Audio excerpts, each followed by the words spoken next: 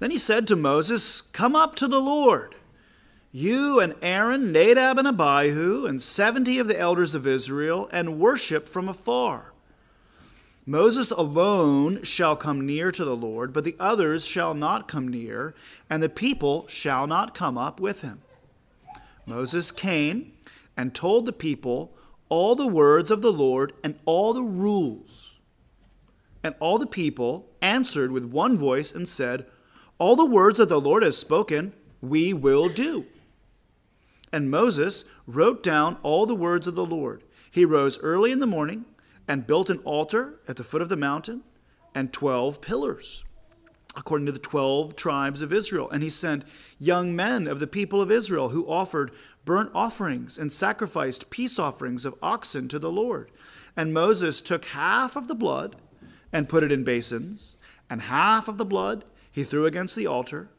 And then he took the book of the covenant and read it in the hearing of the people, and they said, All that the Lord has spoken, we will do, and we will be obedient.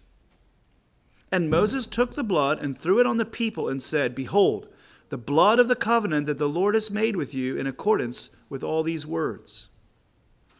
Then Moses and Aaron, Nadab and Abihu, and seventy of the elders of Israel went up and they saw the God of Israel. There was under his feet, as it were, a pavement of sapphire stone, like the very heaven for clearness.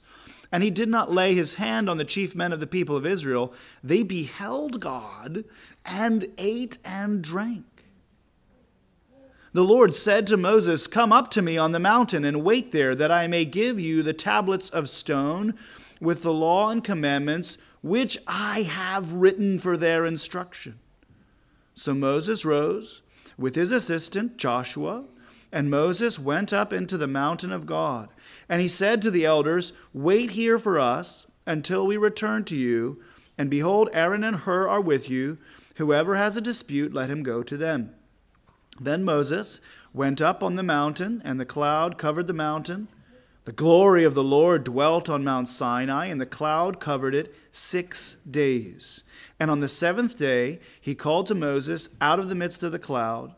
Now, the appearance of the glory of the Lord was like a devouring fire on the top of the mountain in the sight of the people of Israel. Moses entered the cloud and went up on the mountain, and Moses was on the mountain forty days and forty nights. Thus ends the reading of God's word.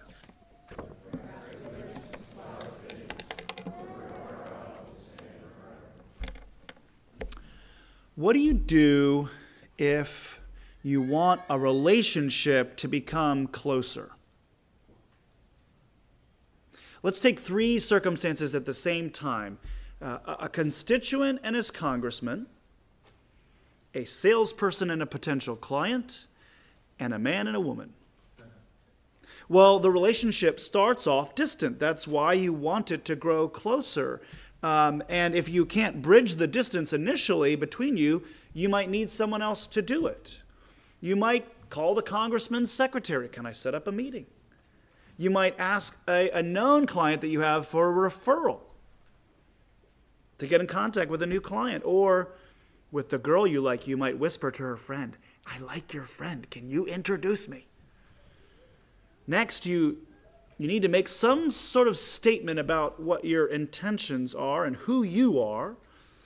A constituent might say, I need help with a problem and only you can solve it. Or I, I want to warn you of a danger, Congressman. Or a salesman might say, Boy, do I have a deal for you.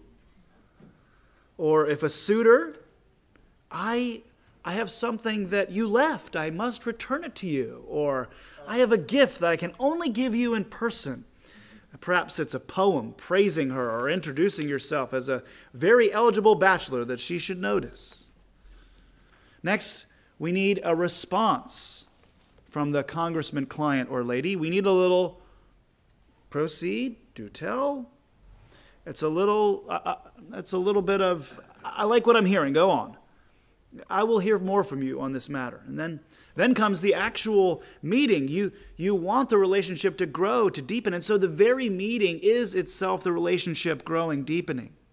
And so you schedule a time to sit down together, or maybe even have a drink together, or if things are going really well, a meal. And then if that goes well, you might get the congressman to sign on the dotted line to oppose the bill, or you might get the client to sign on the dotted line for a trade in deal, or you might get the girl to promise to say yes at a future date. The point is, relationship depth is ratified by commitment. And there is a certain ceremony, there is a liturgy, there is a process to this deepening. All these human relationships point to how a person's relationship with God deepens. There's a bit of ceremony and liturgy also with the God of the Old and New Testament. And here in Exodus 34, we see this deepening relationship between God and his people spelled out for us. And there are lessons to be learned for us, even here, so far from this uh, epoch of church history. We're going to see the very official way to begin a relationship with God and to renew a relationship with God. For a sinner to draw near to a holy God requires a covenant renewal ceremony. For a sinner to draw near to a holy God requires a covenant renewal ceremony. Point number one a covenant confirmation requires representation. Verse 2. Representation, someone representing you. God is so holy that the people cannot approach themselves. Did you see that? And even the elders who are of like substance with the people cannot approach. It would be as if you were a snowman trying to approach a fiery furnace. You can't do it. God is this fire on the mountain. But Moses can approach. Why? Because God has chosen him to represent. He is that representation. God's people needed a mediator. You need a mediator between you and God, someone to stand in between. If you think that you can just pray to a holy, holy, holy God, coming to, into his presence with your own purity of spirit, your, your own conscience will accuse you that something isn't right. Even one of the most holy men to ever walk the earth, Job, said, I need a mediator. I need someone to stand between. And now, I'm not saying that you need a priest to confess your sins. Priests are sinners too. You need a representative. And now, neither Mary nor the saints have been chosen to be the covenant representative as if they had any sort of merit to, to grant you. They are sinners like yourselves only history and myth making them anything more. Jesus is the only mediator. 1 Timothy 2 5. So, in order to come to God, you must come through Jesus, your representative. And God has always worked in his relations with people by using a representative. This should be no surprise to you to hear me speak in this way. What's the application? Well, the application is that this has implications for working with other religions. Oftentimes, the world looks at religions as basically the same. We're called people of faith. And so sometimes there's a desire to work in an ecumenical fashion. That means Muslims, Jews, Christians, Buddhists all having a prayer service together or advocating for mental health together. But the holiness of God and the necessity of a singular mediator impinges upon these efforts. We can be cordial and gracious to people of other faiths, but we cannot be naive and think that prayers, apart from those done in Jesus' name, are ever heard and honored. Search the scriptures. Listen, even uh, husbands who hate their wives, their, their, their prayers are not heard. See Malachi 2. Point number two a covenant confirmation involves declaration. Declaration. Look at verses 3 and 7. The Lord declared himself to Moses, then Moses declared all the words to God's people. You know what this sounds like? This sounds like a covenant. It sounds like, it sounds like a good covenant. an honest covenant. You say, Of course. Oh, that all covenants were so. Have you seen the names on some of the bills that Congress passes? They're the uh, precise opposite of what is embedded in the bill. Or even the summary on some of the things that they ask us to vote is actually a meandering farce compared to what's actually in it. On the other hand, you have declared what is true here in an honest way. Have you ever said yes to something before you knew what you're saying yes to? One time, a young lady said, was getting ready to ask me a question, and I said, whatever it is, yes. And you know what? It was fine. She didn't know how to take advantage of me and, the, and my ignorance in that moment, and she was asking for something small. I got very lucky. The person who I was dealing with didn't know how to take advantage of my momentary lunacy, but, but the point is good agreements involve upfront declarations of what they intend. Moses reads, as it were, the title page, the summary of God's laws, and the people listen. God's word needs to be placed authoritatively before you, honestly, truthfully. And too often, what popular preachers are doing, what evangelical preachers are doing, is saying, This text, you see what it says? It actually means quite the opposite. That is not declaring to you the Word of God. And notice how God sovereignly covenants with his people. It's not a two way street. The people don't get to propose amendments, they don't get to line item veto. I like this, but I don't like this. They don't get even to clarify. This was God's initiation. In application, you need to listen to the preaching of the word. Otherwise, it is naive or dishonest for you to say that you follow God or you will follow God without listening to what His Word says. How do you know what you're signing up for? Number three, a covenant confirmation involves affirmation. Verses 3 and 7. Affirmation, saying, Yes, I affirm. The people said, We will do, we will obey. What is your response to the moral law? If the moral law were to be put before you, what would you say? If you're not ready to say, This is good, I submit to it, you're not ready to go deeper in your relationship with God. You need to mentally, verbally, and publicly interact with God's law in order to enter into a relationship with Him. Yes, this is good. And it's appropriate to consider the stipulations of a deal before you proceed. What are you signing up for? It's important uh, for suitors and the engaged to count the cost of a marriage and really say yes to it.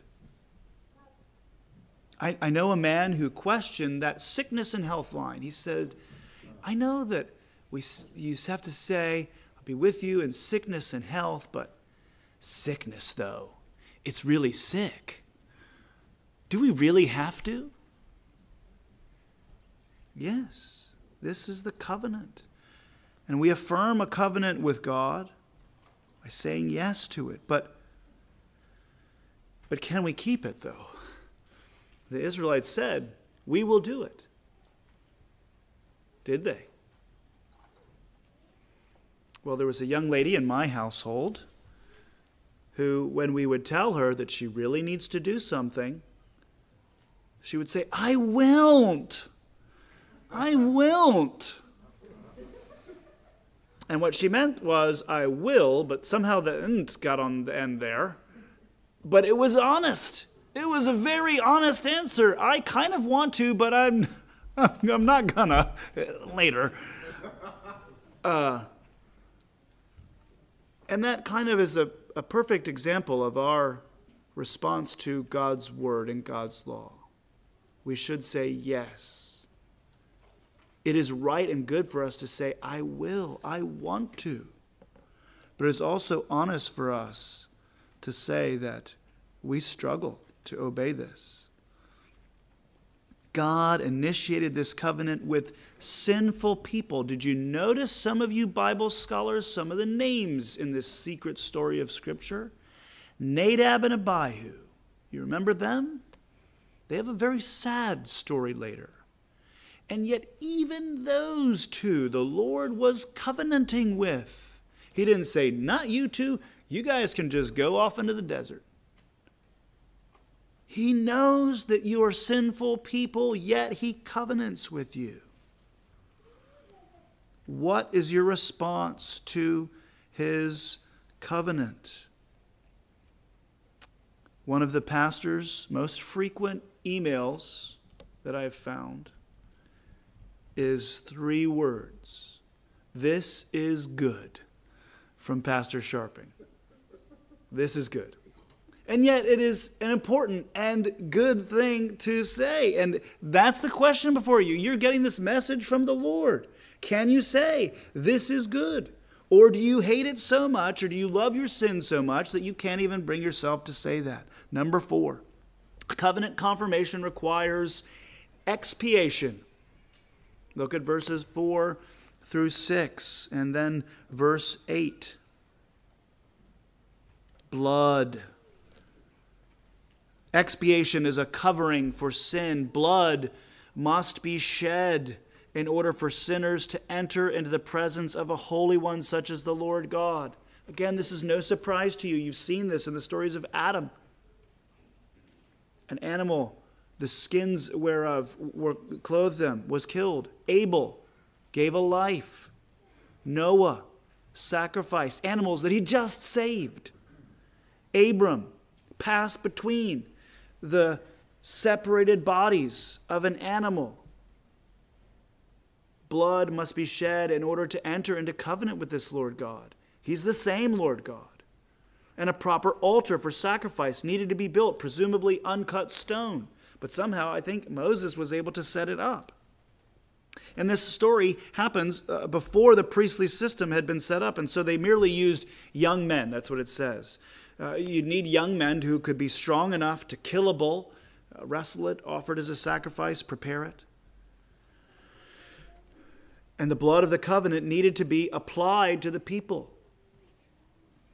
You may have grown so used to Pastor Barker's lines that he says before you as we baptize a child, but do you remember what he says? It's not so much um, people being applied to water, but water being applied to the people. The blood is applied to the people here. The sign is applied to them, symbolizing covering in death. In order for you to enter into a relationship with God, you must never forget that a blood sacrifice had to be made. Old Testament, New Testament, and that reveals the serious, deadly holiness of the God you serve. So holy, so angry, so full of wrath at sin, and it reveals the terrible sadness of your sinful estate. Remember, in our corporate prayer, we are looking at the cross and seeing how the depths of our sin. and so, in application, Christian, unite yourself to Christ in his death by dying to sin. In Christianity, you're not killing any living thing. You're not called to. You're not called to cut apart part of yourself in Christianity, but you are called to be killing sin and cutting it off from your life and laying hold of the propitiation made in Christ. That is the total undoing, the total wiping away of your sin. Number five, a covenant confirmation involves consummation, consuming something, eating, drinking. As if to ratify this new covenant agreement, the Lord hosts a meal on the mountain. Those sacrifices that were done could have been wholly burnt up. This is something that happened often in ancient times, but here they're not. They're not wholly burnt up. They're, they're grilled to perfection, and the ancient elders dined and drank with the Lord. And they seem to be partly or somehow in the Lord's presence. The, the only thing that's mentioned here is the stone under his feet. So if they're still somewhat removed from the Lord, it makes more sense in light of uh, the later chapters where the Lord only allows Moses to see his back as he hides Moses in the cleft of the rock. So perhaps the, the elders were dining with the Lord, but he was over and above them, separated by this sapphire paving stone. It's strange that this part of the story is so often left out of children's Bibles and Bible summaries, but this is an important aspect to the covenant ceremony. Why? Because this feast reveals that the Lord doesn't just want to lecture his people. Let me give you some rules from on high. These laws are given in the context of intimate table fellowship. He cares for you. He wants you to be one of the people at his table and that a covenant involves consuming food and drink connects what the Lord was doing with Moses and what the Lord was doing with his people in the in interaction of the holy, uh, the, the Lord's Supper.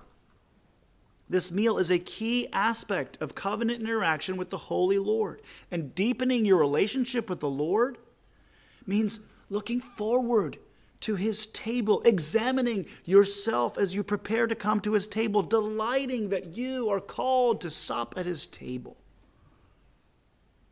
Point number six a covenant confirmation involves inscription.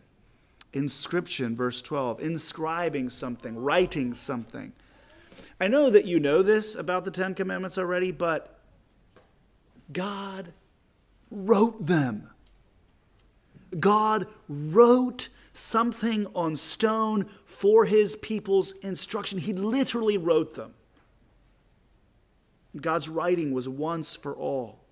And the scholars believe that the reason there were two tablets of stone is not because all the words didn't fit on one tablet, uh, but because, like other ancient Hittite treaties, the whole law would be written on one tablet for the king, and the whole law would be written on a second tablet for the vassal.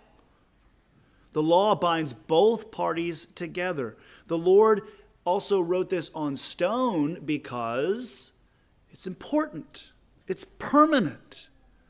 There's no cut and paste feature on stone. There's no shadow banning on stone tablets. The Lord wants his instruction to be clear and perennial. And guess what else is part of stone is you got to be brief. Uh-huh. We're not writing any novels on stone.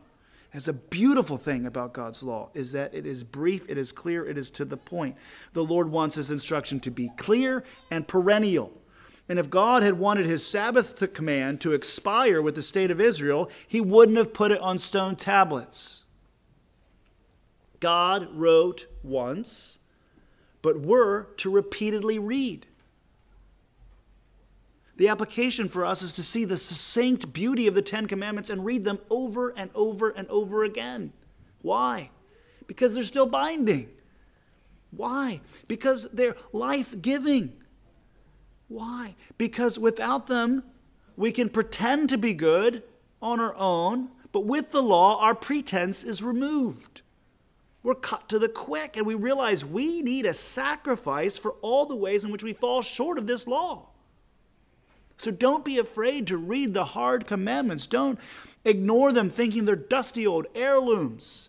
The Word of God is living and active. Well, how does this apply to us as New Testament believers? How does this apply to you if you are not yet a believer? Jesus, during his three year ministry, declared what he was about. He interpreted God's law in the Sermon on the Mount, and he expected a response a ritual washing and acknowledgement of sin, a physical sign to represent repentance and acquiescence to Jesus' message, an affirmation. So, if you have not already, repent and be baptized in response to Jesus. Say, I am a sinner in need of saving. And with that affirmation, we're not saying, I'll completely keep Jesus' law. No. Our, our affirmation is, the law is good. I am not. I cast myself on God's mercy. And Jesus invited his disciples to consummate the covenant with him uh, over a covenant meal, which we now call the Last Supper. He now invites all those who repent and believe to join him repeatedly to renew the covenant vows and remember his death for you. His death on the cross was the expiation of the new covenant. The new covenant still requires a blood sacrifice to draw near to God. But Jesus, our sole representative and our sole sacrifice, paid the price for our sins to be covered, yea, removed. Expiation isn't big enough, isn't great enough. It's propitiation. Totally undoing our sins and giving us instead the righteousness of Christ. Jesus' death and resurrection were so powerful that our sins are utterly wiped away.